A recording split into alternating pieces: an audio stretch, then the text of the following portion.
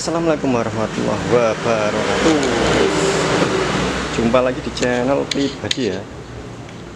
Kali ini mau membuat info aja Bahwa si Beat ini ya.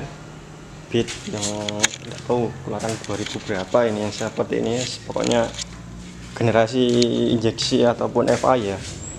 Ini kendalanya ada di bagian sini ya jalannya itu seperti ini. On. Starter itu berat. Nah itu seperti itu hmm. Hmm. Nah, mau hidup tapi agak berat ya. Sebentar-bentar langsung mati ya. Tak coba lagi ya.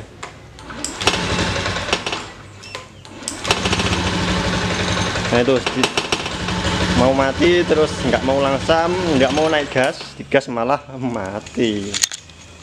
Dan udah pribadi cek tadi kendalanya ada di sini. Nah, ini dia. Nah itu dia. Ada di injektor. Injektor kalau pompanya itu normal ya.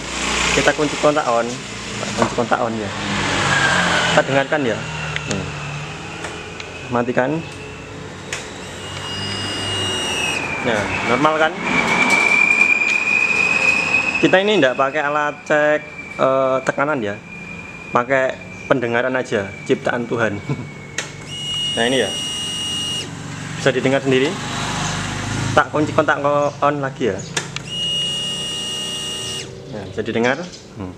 Kan ini kan agak normal ya, bagus, tekanan ya aman kalau ini dari pendengaran ya kalau dari segi tekanan ya kita pakai alat pakai uh, full pump ya. Maksudnya tekanan bensin ada yang tersendiri tapi nggak pakai ya. Cuma dikira-kira saja. Nah ini kan udah nyata tadi ya. Yang demikian udah tak cek sini udah urutan ceknya ya hal demikian itu bisa banyak faktor mulai dari sini dari busi dari kepala busi juga dari kuil juga terus kabel juga ada yang putus atau gimana. Tapi pribadi langsung cek ini tidak ada gejala maksudnya nggak nggak nggak ada gejala ya. Lampu indikatornya nggak nyala tidak ada gejala. Jadi kan aman ya aman.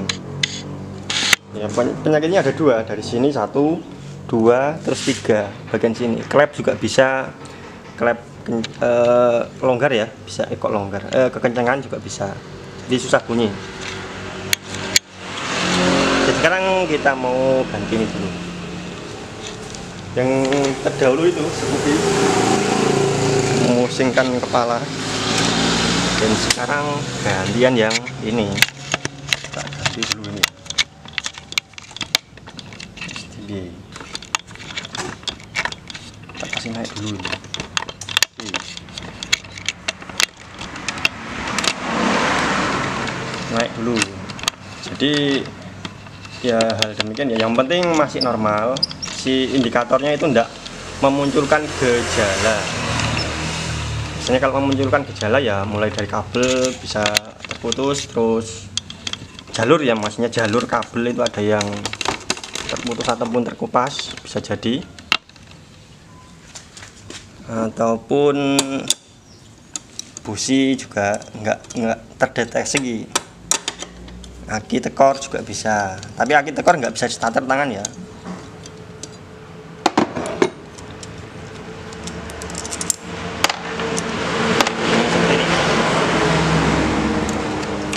Tak coba dulu masuk kamera ini.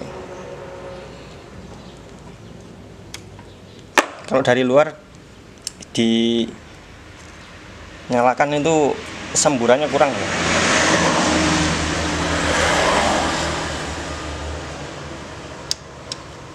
Hmm. paling simple urutan ceknya itu ya seperti ini. Tapi pompanya tadi aman ya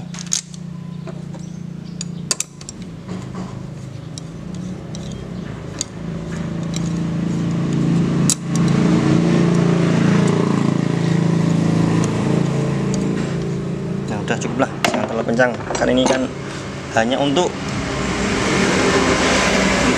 uji coba. Jadi nanti kita belikan yang baru lagi. Sekarang langsung kita coba nyalakan kembali ya. Oh ini masih on ya? On. Dan nyalakan. Hmm, nyalakan. Jadi semburan bensinnya kurang ya? Yang lama tadi mana itu nah itu sekarang udah normal kembali. Udah bisa digas. Tuh ceblok habis ya. Seperti ini ya. Listrikan sain. Nyala sudah kita coba lagi. Biar meyakinkan ya. Yang penting yang ini tidak ada gejala ataupun indikator nyala aman kan? Nah. Maka urutannya dari sini satu dua. Terus eh pertama di bawah ya. Dari pengapian kuil ataupun kalau kuil lancar berarti kan aman ya. Terus cek busi terus klepnya juga. Dari sini terus dari sini juga ya mungkin itu aja infonya. Semoga bermanfaat. Kalau ada pertanyaan ya tinggalkan kolom komentar ya turun ini berlaku pada semua motor FI ya? Cara ceknya ya demikian